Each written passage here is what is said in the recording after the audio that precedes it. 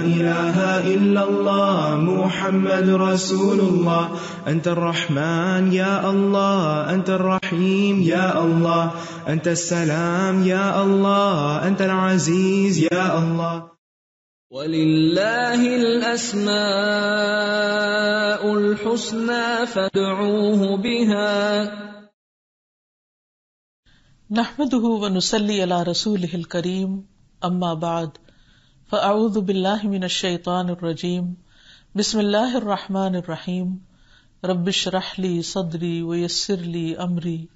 वाहलुलदतम लिसानी यफ़क़ कौली। नाजरीन, प्रोग्राम अल्लाह के खूबसूरत नाम के साथ आपकी खिदमत में हाजिर है। आज हम इनशाला अल्लाह सुबहान तला के नाम अलवित्र के बारे में बात करेंगे। वित्र अरबी जबान का लफ्ज है, जिसका माना होता है ताक़। ऑड अकेला, तन्हा, यकता। लुगत में अलवित्र से मुराद एक फर्द होता है, या दूसरे मानों में वो जिसका जोड़ा ना हो। यानी वो अकेला जिसका जोड़ ना हो। कुरान मजीद में अल्लाह ताला फरमाते हैं वशफ इवल वत्र कसम है जुफ्त और ताक की। यहाँ वित्र से मुराद आदम सलाम है और शफ से मुराद जोड़ा, यानी हवा सलाम, जब अल्लाह ताला ने उनको तखलीक किया तो उनसे मिलकर हज़रत आदम और वो एक जोड़ा बन गए।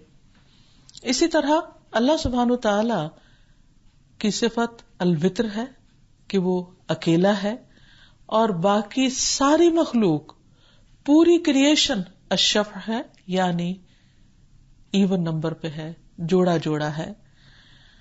अल्लाह सुबहान तला अपनी जात में, अपनी सिफात में, अपने अफआल में, कमाल में, जमाल में यकता है, अकेला है, उसका कोई भी शरीक नहीं। मखलूक में से कोई भी चीज़ उसके किसी भी तरह कहीं भी बराबर नहीं। कोई भी चीज़ उसके सिवा इलाह का दर्जा नहीं पा सकती। वही रब है और वो अकेला ही रब है। कोई और उसकी रुबूबियत में शरीक नहीं। वही इलाह है, कोई और उसकी उलूहियत में शरीक नहीं, यानी उसके इलाह होने में शरीक नहीं। मुशरकिन मक्का ने जब नबी सल्लल्लाहु अलैहि वसल्लम से आकर ये कहा कि अपने रब का तारुफ कराइए कि वो कौन है तो उस पर आप सल्लल्लाहु अलैहि वसल्लम ने ये मशहूर सूरत, यानी सूरत इखलास उनको सुनाई। कुल हु अल्लाह अहद अल्लाह समद। लम यलिद वलम यूलद वलम यकुल्लहु कुफुवन अहद। कह दीजिए कि वो अल्लाह एक है। अल्लाह बेनियाज है। न उसने किसी को जना और न वो जना गया, और न कोई एक भी उसके बराबर का है। तो अल्लाह सुबहानु ताला अकेला है, और वो वित्र है, और वित्र होना उसको पसंद है। इसीलिए उसने बहुत से आमाल में वित्र को यानी ऑड नंबर को पसंद किया है। इतात और इबादत के मुख्तलिफ़ कामों में। और जहाँ तक इस बात का ताल्लुक है कि सिर्फ़ अल्लाह की जात मुनफरिद है, अकेली है, और बाकी सब मखलूक जोड़ा जोड़ा है तो अगर आप कायनात में नज़र दौड़ाएँ तो हर चीज़ में आपको जोड़ा नज़र आएगा।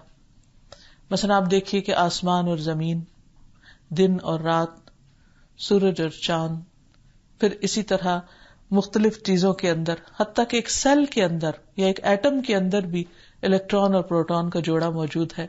फिर इसी तरह पानी में आप देखिए कि पानी दो चीज़ों का मजमुआ है, हाइड्रोजन और ऑक्सीजन का।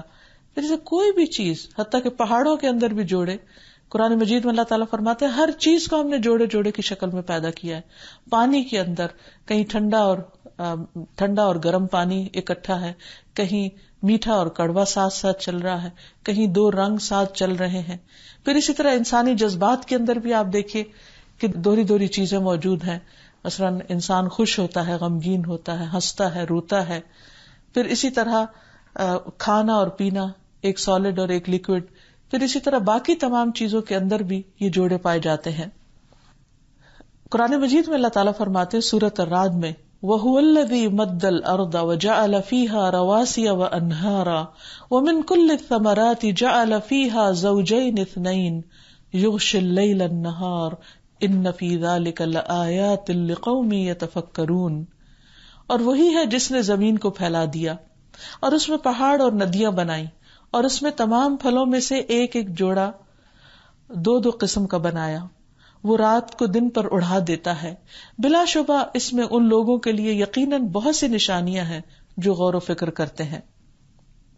फिर इसी तरह सूरत रहमान में अल्लाह ताला फरमाते हैं फ़ी हिमा मिन कुल्ल फाकिहतिन जौजान फबिया रब्बी कुमा तुकद्दिबान, कि इन दोनों में हर फल की दो किस्में हैं।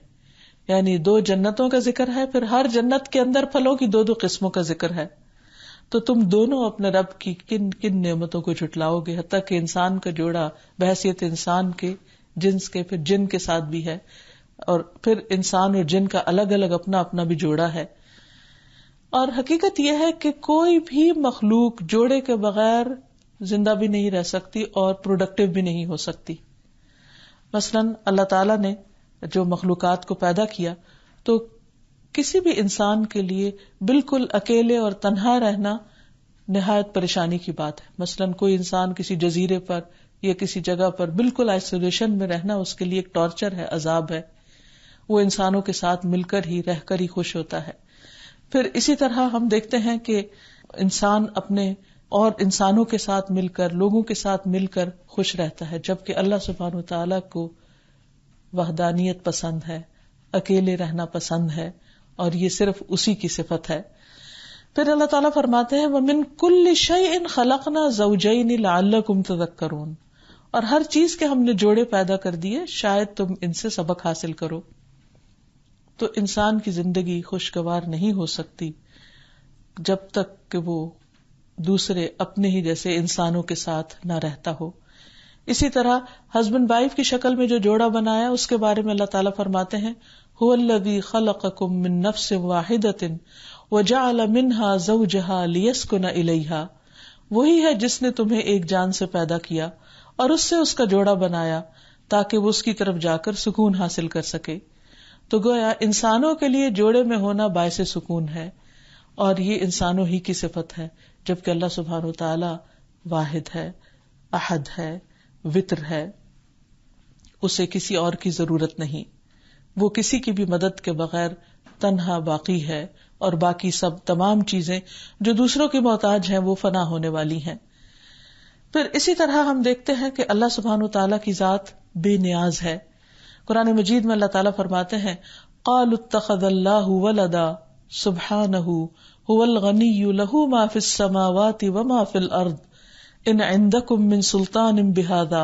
अतकूलून अलल्लाहि मा तालमून? उन्होंने कहा कि अल्लाह ने औलाद बना रखी है। वो पाक है, वो बेपरवाह है।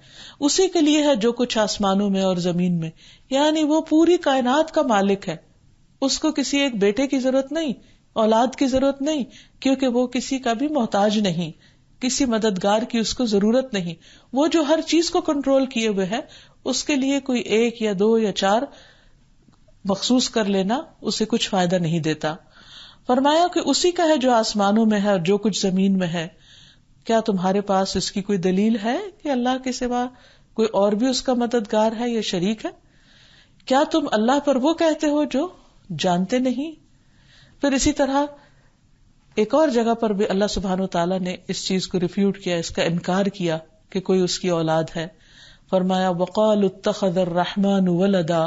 लकद जितम शई अन इद्दा तकादुस्समावात यतफत्तरन मिन्ह व तनशक् अर्द व तखिर जिबाल हद्दा अन दाउल रहमान वलदा वमा यम्बगी रहमान अन यत्तखिद वलदा और उन्होंने कहा, रहमान ने कोई औलाद बना ली। बिलाशुबा यकीनन, तुम एक बहुत भारी बात को आए हो।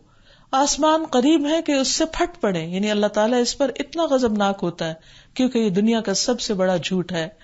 और ज़मीन शक हो जाए और पहाड़ ढह के गिर पड़े कि उन्होंने रहमान के लिए किसी औलाद का दावा किया। हालाँकि रहमान के लायक नहीं कि वो किसी को औलाद बना ले। तो अल्लाह सुबहान ताला वित्र है। जैसे कि एक रिवायत पे आता है इन अल्लाह वित्रुन, बेशक अल्लाह ताक है। और अल्लाह सुबहान तला की जितनी भी सिफात हैं, वो सब भी मुनफरिद हैं। यानी उसका एक एक नाम और उसकी एक एक सिफत और उसका एक एक काम, उसमें भी वो बेमिसाल है। लई सकमिथली ही शई उन वह समी उल बसीर। उस जैसी तो कोई चीज़ ही नहीं। कोई चीज़ उसकी मिसाल नहीं, कोई चीज़ उसके मुशाबे नहीं, कोई चीज़ उस जैसी नहीं। और वो यकता है, मुनफरिद है। इस सिलसिले में अल्लाह सुबहान तला की तोहीद का ज़िक्र करना अल्लाह ताला को बहुत पसंद है और यही अल्लाह ताला के एक होने की बुनियाद भी है। इस्लाम में दाखिल होने के लिए सबसे पहले जिस चीज़ का इकरार किया जाता है, वो यही कलमा शहादत है, ला इल्लल्लाह। अबू सईद खुदरी रज़ी अल्लाह तु से रिवायत है कि अलैहि वसल्लम ने फरमाया, जब बंदा कहता है, ला वल्लाहु अकबर तो अल्लाह अज्जा वजल्ला फरमाता है कि मेरे बंदे ने सच कहा, मेरे अलावा कोई माबूद नहीं। और जब वो कहता है, ला इलाहा ला शरीक लहू तो इरशाद होता है, मेरे बंदे ने सच कहा, मेरे अलावा कोई माबूद नहीं और मेरा कोई शरीक नहीं। जब वो कहता है, ला इलाहा इल्लल्लाह, लहुल मुल्क व लहुल हमद तो इरशाद होता है, मेरे बंदे ने सच कहा, मेरे अलावा कोई माबूद नहीं। ये मेरे ही लिए है। मेरे ही लिए है बादशाही और मेरे ही लिए है तमाम तारीफें। और जब वो कहता है, ला इलाहा वला वला कुव्वत इल्ला बिल्लाह तो इरशाद होता है, मेरे बंदे ने सच कहा, मेरे अलावा कोई मबूद नहीं। और गुनाहों से बचने की हिम्मत और नेकी की कुत मुझी से हासिल हो सकती है। रावी अबू इसहाक कहते हैं कि मेरे उस्ताद अबू जाफ़र ने इसके बाद कुछ कहा जो मैं कुछ समझ तो ना सका। तो मैंने अबू जाफ़र से पूछा कि क्या कहा? फरमाया, जिससे मौत के वक्त ये कलेमात नसीब हो जाए, उसे आग नहीं छुएगी। यानी जिस बंदे का अख्ताम ला इलाहा के कलेमात पर हो और तोहीद पर उसका खात्मा हो, फिर वो निजात पा गया। और न सिर्फ़ ये कि मौत के वक्त, बल्कि ज़िंदगी भर हमें इसी कलमे पर ईमान रखना चाहिए कि अल्लाह सुबहान तला अपनी जात में, अपनी उलूहियत और रबूबियत में शरीक है। तो हकीकत यह है कि इंसान की अजमत और बड़ाई इसी में है कि वो हमेशा अल्लाह सुबहान तला की तोहहीद का इकरार और इजहार करता रहे। कुरान मजीद में सूरत बनी इसराइल में आता है, वकुल हमदुल्लादी लम यद वलदा, वलम यकुल्लहु शरीक फिल मुल्क वलम यकुल्लहु वलीयुम मिनजुल व कब्बिरहु तकबीरा। और कह दीजिए, सब तारीफ़ अल्लाह के लिए है, जिसने न कोई औलाद बनाई है और न ही बादशाहत में कोई उसका शरीक है, और न आजिज हो जाने की वजह से कोई उसका मददगार है, और उसकी बड़ाई बयान करो, खूब खूब बड़ाई बयान करना। फिर इसी तरह, जहाँ अल्लाह सुबहान तला की कोई औलाद नहीं, वहाँ उसकी कोई बीवी भी नहीं। कुरान पाक में आता है वजालू शरका अल जिन व खलकहम व खरकू लहू बनीन व बनात बगैर इल्म। सुबहान व ताला अम्मा यसिफून। बदी समावात वल अर्द अन्ना यकून लहू वलदुन वलम तकुल लहू साहिबा व खलक कुल्ल शयइन व हुआ बिकुल्ल शयइन अलीम। और उन्होंने जिन्नों को अल्लाह का शरीक बना दिया। यानी शिरक करने वालों ने किसी चीज़ को छोड़ा नहीं। किसी न किसी चीज़ को अल्लाह के बराबर ला खड़ा किया। हालाँकि उसने उन्हें पैदा किया। यानी एक सिंपल सी बात है समझने की कि अल्लाह ताला का कोई शरीक इसलिए नहीं हो सकता कि हर चीज़ उसकी बनाई हुई है। और खालिक और मखलूक में फ़र्क है। जो चीज़ किसी ने बनाई, वो बनाने वाले के बराबर कहाँ से आ सकती है? तो बराबर हो ही नहीं सकती। इसीलिए अल्लाह सुबहान तला फरमाते हैं कि वो बहुत बुलंद है उससे जो वो बयान करते हैं। और बहुत पाक है उससे। वो आसमानों और ज़मीन का मुजद है। उसकी औलाद कैसे होगी, जबकि उसकी कोई बीवी ही नहीं? और उसने हर चीज़ पैदा की, और वो हर चीज़ को खूब जानने वाला है। फिर इसी तरह ये कि अल्लाह सुबहान तला को किसी ने पैदा नहीं किया। वो सबसे अव्वल है और सबसे आखिर। यानी वो उस वक्त भी था जब कुछ न था, यानी कोई चीज़ उसने अभी क्रिएट नहीं की थी। और वो उस वक्त भी होगा जब कुछ न रहेगा। यानी कुल्लु मन आलई हाफान वबका वजह रब का दिल जलाल वल इकराम, कि हर चीज़ फना होने वाली है और तेरे रब का चेहरा बाकी रहेगा जो जलाल इकराम वाला है। रसूलुल्लाह सल्लल्लाहु अलैहि वसल्लम ने फरमाया, अल्लाह ताला अजल से मौजूद था और उसके सिवा कोई चीज़ मौजूद न थी और उसका अर्श पानी पर था। लोहे महफूज में उसने हर चीज़ को लिख लिया था। फिर अल्लाह ताला ने आसमान ज़मीन को पैदा किया। कुरान मजीद में बार बार अल्लाह सुबहान तआला की तोहीद का ज़िक्र मिलता है कि वह इलाह को मिलाह वाहिद ला रहमान रहीम, और तुम्हारा माबूद एक ही माबूद है, उसके सिवा कोई माबूद नहीं, बेहद रहीम, बहुत ज़्यादा मेहरबान। और इसीलिए हमें उसी की इबादत की दावत बारहा दी गई है। फरमाया, अबुदुल्लाह मालकुम मिन इलाहिन अल्लाह की इबादत करो उसके सिवा तुम्हारा कोई माबूद नहीं। और हर पैगंबर की यही दावत रही है कि खालिस उबूदियत अल्लाह ही का हक है। फिर इसी तरह नबी सल्लल्लाहु अलैहि वसल्लम अल्लाह सुबहान तला की तारीफ़ और उसकी तोहीद बहुत खूबसूरत अंदाज में करते हैं। फरमाते हैं कि अंत इलाही, ला इलाहा इल्ला अंता। तू ही मेरा इलाह है, तू ही मेरा माबूद है, तू ही इबादत के लायक है, तेरे सिवा कोई भी इलाह नहीं है। एक और जगह पर आता है, ला इलाहा इल्लल्लाहु यफअलु मा युरीद, अल्लाहुम्मा अंत अल्लाहु ला इलाहा इल्ला अंता। अल्लाह के सिवा कोई माबूद बरहक नहीं। वो जो चाहता है, करता है। ए अल्लाह, तू ही माबूद हकीकी है। तेरे सिवा कोई माबूद नहीं, कोई इबादत के लायक नहीं। और फिर ये कि हमेशा ला इलाहा इल्लल्लाह पर अगर गौर किया जाए तो हम देखते हैं कि पहले नफी की गई है कि कोई और है ही नहीं और फिर इस बात किया गया है कि हाँ अगर कोई है इला तो वो सिर्फ़ अल्लाह ही है। और जो शख्स इस बात को जान ले, पहचान ले, इस नाम पर गौर फ़िक्र करे और हकीकत में कायनात के दलाइल से भी और अल्लाह सुबहान तला के अहकाम से भी यही सबक ले और इस बात का खुले दिल से इकरार करे तो उसके लिए जन्नत वाजिब हो जाती है। फिर मीजान में भी ये कलमा बहुत वजनी होगा। नौफ रज़ी अल्लाह कहते हैं कि अगर आसमान ज़मीन और उनके दरमियान की मौजूद सारी चीज़ों को तराजू के एक पलड़े में रख दिया जाए और दूसरे में सिर्फ़ ला इल्लल्लाह को रखा जाए तो ला इल्लल्लाह वाला पलड़ा भारी हो जाएगा। यानी ये इतनी बड़ी बात है और शिरक की नफी इतनी ज़्यादा वजनी चीज़ है। फिर आप देखिए कि नबी सल्लल्लाहु अलैहि बेहतरीन अल्फाज में अल्लाह सुबहान तआला की इस उलूहियत और रुबूबियत का ज़िक्र करते हैं और अपनी सारी इबादत को उसी के नाम पर करते हैं।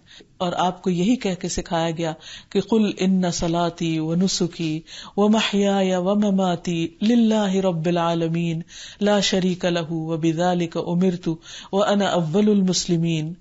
कि आप कह दीजिए, बेशक मेरी नमाज़ और मेरी कुर्बानी और मेरी ज़िंदगी और मेरी मौत अल्लाह के लिए है। यानी जब है ही सब कुछ वही तो फिर हमारा भी सब कुछ उसी के नाम है। और यही अल्लाह ताला से मोहब्बत का इजहार है बेहतरीन। वो रब जो जहानों का रब है, उसका कोई शरीक नहीं, और मुझे इसी का हुक्म दिया गया, और मैं हुक्म मानने वालों में सबसे पहला हूँ। फिर अल्लाह सुबहान तआला अपने तमाम सिफात में भी अकेला है, और कोई उसका हम नाम भी नहीं। अल्लाह ताला फरमाते हैं रब्बुस्समावाति वल अर्द वमा बैनहुमा फअबुदहु वस्तबिर लिइबादतिही, हल तअलमु लहू समिया? वो जो आसमानों का और ज़मीन का और उन दोनों के दरमियान की तमाम चीज़ों का रब है, सो उसकी इबादत करो और उसकी इबादत पर जमे रहो। फाबुद हो वस्तबिर इबादती ही हल तालमु लहू समिया। क्या तुम उसका कोई हम नाम भी जानते हो? क्या अल्लाह के सिवा किसी और का नाम भी अल्लाह है कभी? कभी न हुआ, न है और न हो सकता है। ये सिर्फ़ उसी को जेबा है। फिर यह है कि बंदों को शिफा देने वाला भी वो अकेला है। बंदों को रिस्क देने वाला भी वो अकेला ही है। इसीलिए हम कहते हैं अल्लाह अंत शाफी, ला शिफा इल्ला शिफा उका ए अल्लाह, तू ही शाफी है। सिर्फ़ तू ही शिफा दे सकता है। तेरे सिवा कोई शिफा नहीं देता। मगर तू ही देने वाला है। फिर वही अकेला गुनाहों को माफ़ कर सकता है। किसी और के इख्तियार में नहीं के बंदों के गुनाहों को माफ़ कर सके। कि तेरे सिवा गुनाहों को माफ़ कोई नहीं कर सकता, कोई माफ़ करने वाला नहीं। अल्लाह ताला अपने उस बंदे पर ताजुब करता है। जब वो कहता है कि ला इलाहा इल्ला अंत इन्नी कद जलमतु नफसी, फगफिर ली दुनूबी इन्नहु ला यगफिरुद्दुनूब इल्ला अंता। कि नहीं कोई माबूद बरहक मगर तू ही, मैंने अपनी जान पे जुल्म किया, तू मेरे गुनाह बख्श दे। बेशक तू ही गुनाहों को बख्शने वाला है। बंदे के ये कलिमात सुनकर अल्लाह ताला फरमाता है, मेरे बंदे ने पहचान लिया कि उसका एक रब है, जो उसे बख्श भी सकता है मुआफ भी कर सकता है। लिहाजा अल्लाह सुबहान तला बंदे के इन कलिमात को बहुत पसंद करता है। फिर अल्लाह सुबहान तला ही बंदे को हिदायत देता है। अच्छे अखलाक की तरफ़ रहनुमाई भी वही करता है। इसलिए अगर हमारे अंदर तोहीद की मोहब्बत है, यानी अल्लाह की वननेस की चाहत है, और हम उसको दिलो जान से एक ही मानते हैं, और किसी को उसका शरीक नहीं करते और फिर उसके बाद अल्लाह सुबहान तला हमें अपने बंदों के साथ अच्छे मामले की तोफीक देते हैं अच्छा अखलाक देते हैं तो इसमें भी हमारा कोई कमाल नहीं। ये भी दरअसल अल्लाह ताला ही का बताया हुआ है। एक दुआ में आता है कि वह दिनी लिसाल आमाली वल अखलाक फ़िन्नहु ला यहदी लिसालिहा वला यसरिफ सय्यहा इल्ला अंता। अल्लाह, नेक अमाल और अखलाक की तरफ़ मेरी रहनुमाई कर। क्योंकि इनकी नेकी की तरफ़ रहनुमाई करने वाला और उनकी बुराई को दूर करने वाला भी तेरे सिवा कोई नहीं। गोया, उसी ने हमें रिस्क दिया, उसी ने ज़िंदगी दी, उसी ने हिदायत दी, उसी ने अच्छा अखलाक दिया और उसी ने अपनी पहचान दी। क्योंकि वही है जो हर चीज़ पर पूरा पूरा इख्तियार रखता है, वही अल अहद अल वाहिद अल वित्र अकेला, मुनफरिद, यकता। जिसकी सिफात में कोई शरीक नहीं। एक रिवायत में आता है कि अहले किताब का एक बहुत बड़ा आलिम रसूलुल्लाह सल्लल्लाहु अलैहि वसल्लम की खिदमत में हाजिर हुआ और कहने लगा, ए मोहम्मद सल्लल्लाहु अलैहि वसल्लम, तुम लोग बेहतरीन कौम होते अगर तुम शिरक न करते। नबी सल्लल्लाहु अलैहि वसल्लम ने फरमाया सुबहान अल्लाह वो कैसे? उसने कहा तकूलू न इदा हलफ तुम वल काबती, आप लोग कसम खाते हुए काबा की कसम खाते हो। नबी सल्लल्लाहु अलैहि वसल्लम ने कुछ देर सुकूत के बाद फरमाया, ये सही कह रहा है। इसलिए आइंदा जो कसम खाए, वो रब्बे काबा की कसम खाए, काबा की नहीं। फिर उसने कहा मोहम्मद सल्लल्लाहु अलैहि वसल्लम, अगर तुम अल्लाह के साथ किसी को शरीक न ठहराते तो तुम बेहतरीन कौम होते। आपने फरमाया सुबहान अल्लाह वो कैसे? उसने कहा कि आप लोग कहते हैं माशा अल्लाह वशेता जो अल्लाह ने चाहा और जो आपने चाहा। तो नबी सल्लल्लाहु अलैहि वसल्लम ने कुछ देर सुकूत के बाद फरमाया, ये सही कह रहा है। इसलिए जो शख्स ये कहे, उसे चाहिए कि इन दो जुमलों के दरमियान फासला करे। यानी वो होता है जो अल्लाह चाहे। माशा अल्लाह इसको बंदों की चाहत के साथ जमा नहीं करना चाहिए। इब्ने अब्बास की रिवायत में आता है कि एक शख्स ने कहा, जो अल्लाह चाहे और जो आप चाहें, यानी नबी सल्लल्लाहु अलैहि वसल्लम से कहा तो आपने फरमाया, तुमने अल्लाह के लिए शरीक बना लिया, बल्कि यूँ कहो कि जो अकेला अल्लाह चाहे। यानी होगा वो जो अल्लाह चाहे। ये नहीं कहना चाहिए कि जो अल्लाह चाहे और जो आप चाहे। नहीं। बंदे की चाहत से कुछ नहीं होता जब तक अल्लाह ना चाहे। वमा तशाऊना यशा अल्लाह रब्बुल आलमीन। क्योंकि अल्लाह के साथ किसी और को पुकारना सबसे बड़ा गुनाह है। अब्दुल्ला बिन मसूद कहते हैं, मैंने नबी सल्लल्लाहु अलैहि वसल्लम से पूछा कि अल्लाह के नज़दीक कौन सा गुनाह सबसे बड़ा है? फरमाया, ये कि तुम अल्लाह के साथ किसी को बराबर ठहराओ। हालाँकि अल्लाह ही ने तुमको पैदा किया है। मैंने अर्ज़ किया, ये तो वाकई सबसे बड़ा गुनाह है। यानी शिरक सबसे बड़ा गुना और फिर शिरक इंसान को जहन्नम की तरफ़ ले जाने वाला है। और इसके बरक्स तोहीद, यानी अल्लाह ताला को एक मानना, अलवित्र मानना, ये इंसान को जन्नत की तरफ़ ले जाने वाला है। अब जब इंसान अल्लाह सुबहान तला की इस सिफत को जान ले, इस नाम को पहचान ले तो फिर इसके असरात उसकी ज़िंदगी पर भी होने चाहिए। सबसे पहली बात तो यह है कि अल्लाह सुबहान तला एक है और एक को, वित्र को पसंद करता है। तो इसलिए हमें भी अपने मुख्तलिफ़ कामों में ऑड नंबर को इख्तियार करना चाहिए। हम देखते हैं कि मुख्तलिफ़ कामों में ऑड नंबर्स को पसंद किया गया है। जैसे, नमाज़, दिन में पाँच नमाजें हैं और फिर आखिरी नमाज़ जो है, वो वितर है।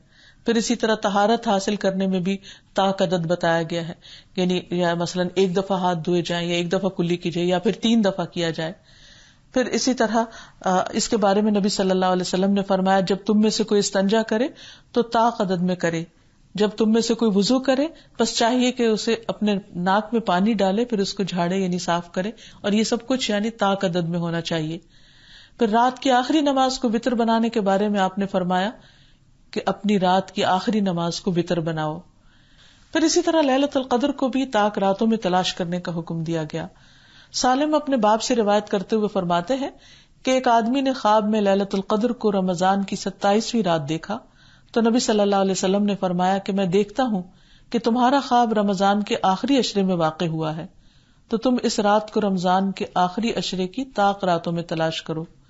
फिर इसी तरह मैयत को गुसल देते वक्त भी ताक तादाद में गुसल देना चाहिए, एक बार या तीन बार।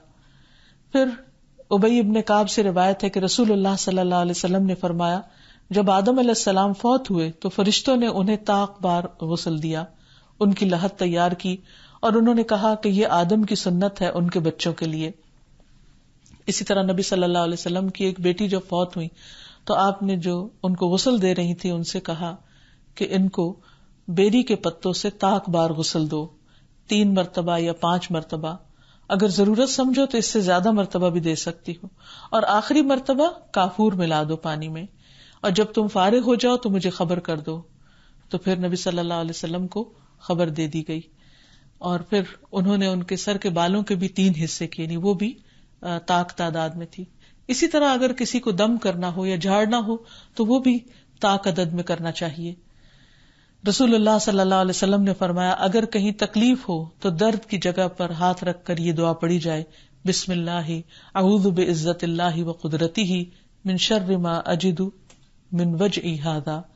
अल्लाह के नाम से मैं इस दर्द के शर से अल्लाह की इज़्ज़त और कुदरत की पनाह माँगता हूँ। फिर हाथ हटा लो और यही अमल ताक तादाद में करो, यानी एक दफ़ा दम करो या तीन दफ़ा या पाँच दफ़ा। फिर इसी तरह अगर इंसान खजूरें खाए या कोई भी चीज़ खाए तो उसमें भी ताक ज़्यादा बेहतर है। अनस बिन मालिक कहते हैं कि रसूलुल्लाह सल्लल्लाहु ईद उल फित्र के दिन न निकलते, जब तक कि आप चंद खजूरें न खा लेते और आप खजूरें ताक में खाया करते थे। फिर इसी तरह अनस कहते हैं कि वो भी जब निकलते तो पहले तीन खजूरें खाते। ज़्यादा करना चाहते तो पाँच खा लेते। और अगर इससे भी ज़्यादा खाना चाहते तो जो भी तादाद होती, उसको ताक ही रखते। फिर इसी तरह ताक अदद में सुरमा लगाना। रसूलुल्लाह सल्लल्लाहु अलैहि वसल्लम ने फरमाया, जब तुम में से कोई शख्स सुरमा लगाए तो ताक अदद में सिलाई अपनी आँखों में फेरे। यानी एक बार या तीन बार।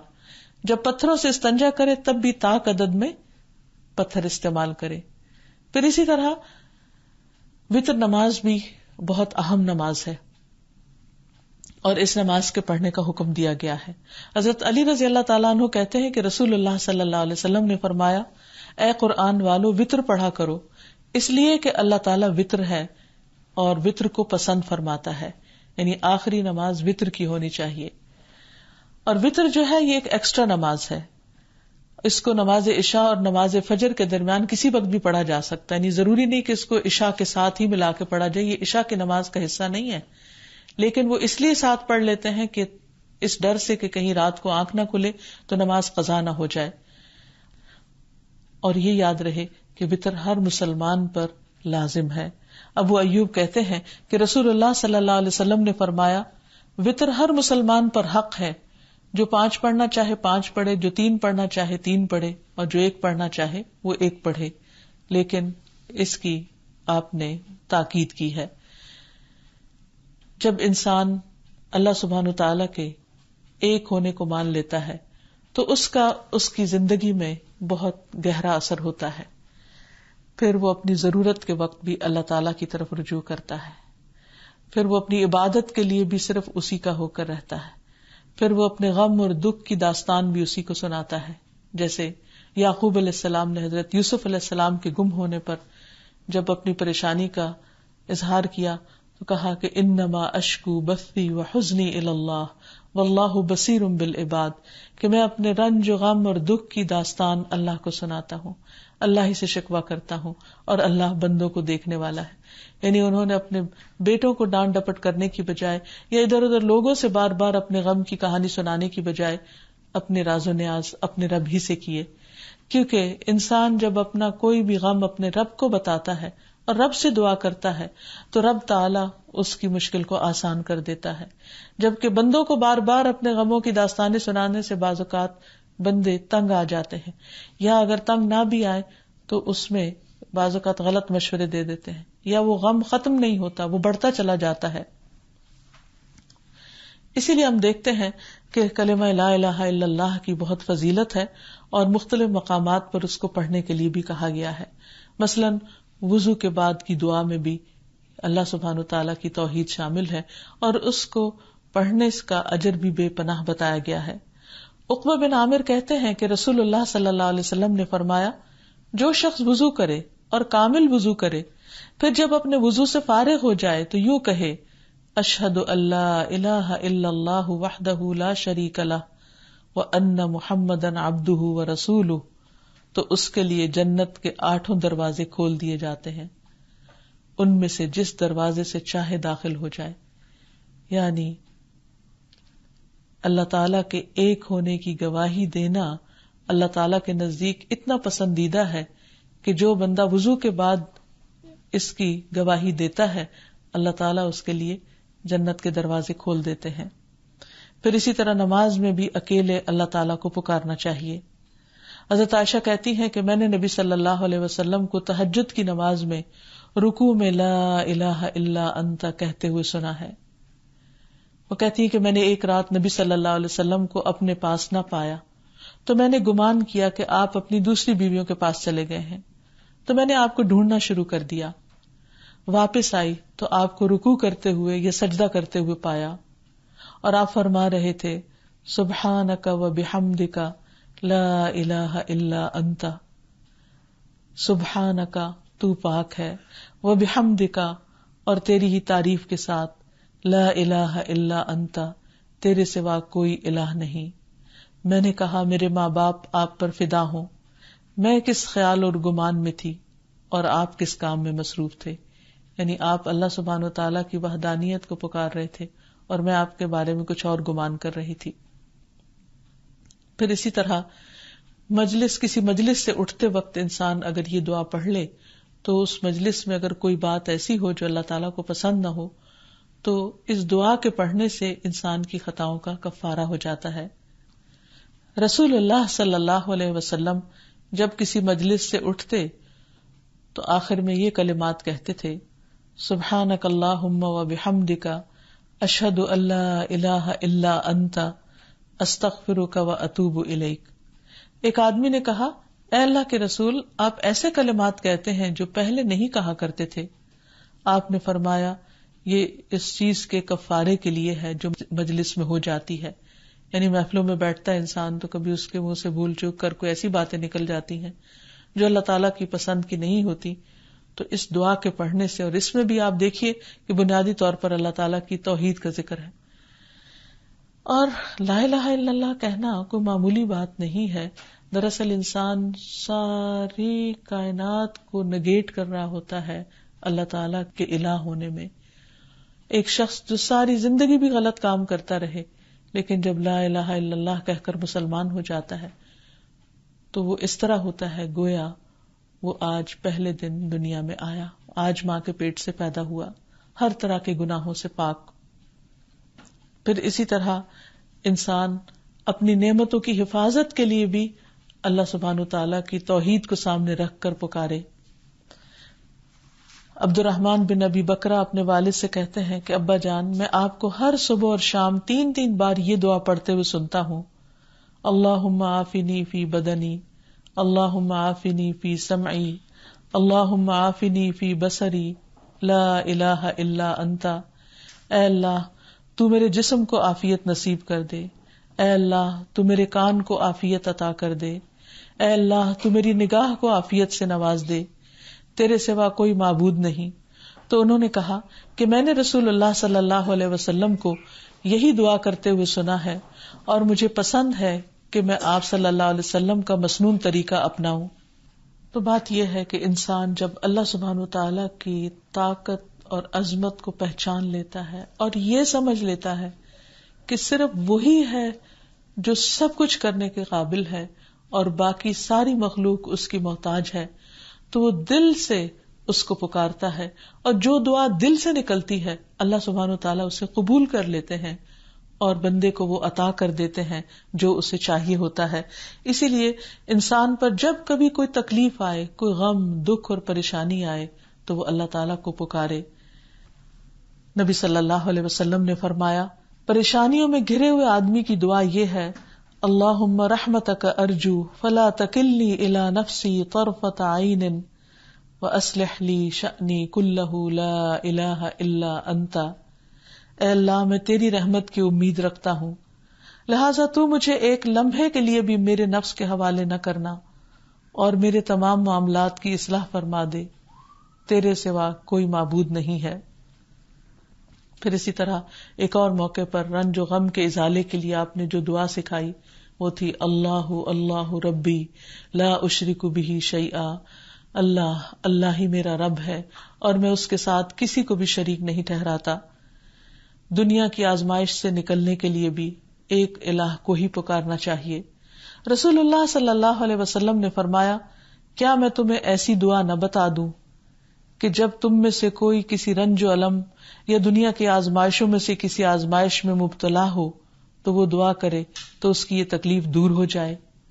कहा गया, क्यों नहीं? आपने फरमाया, वो मछली वाले की दुआ है, ला इलाहा इल्ला अंत सुबहानका, इन्नी कुंत मिन कि नहीं कोई इलाह मगर तू ही, तू पाक है, बेशक मैं जालिमों में से हूँ, मैं खताकार हूँ, मैं गुनागार हूँ। हकीकत यह है कि अल्लाह सुबहान तला की तोहीद की समझ आने पर ही हर चीज़ अपने अपने मकाम पर चली जाती है और इंसान के दिल को वो कुत नसीब होती है। उसका सहारा पकड़कर वो इत्मीनान हासिल होता है जो उसके सिवा कहीं और हासिल हो ही नहीं सकता। तो अल्लाह ताला से दुआ है कि वो हमें अपनी वहदानियत का पूरा यकीन दिला दे और हमारा खात्मा भी ला इल्लल्लाह पर हो। व आखिर दावाना अनिलहमदुल्ला रबालमीन असलकम वरहमतुल्लाहि वबरकातुह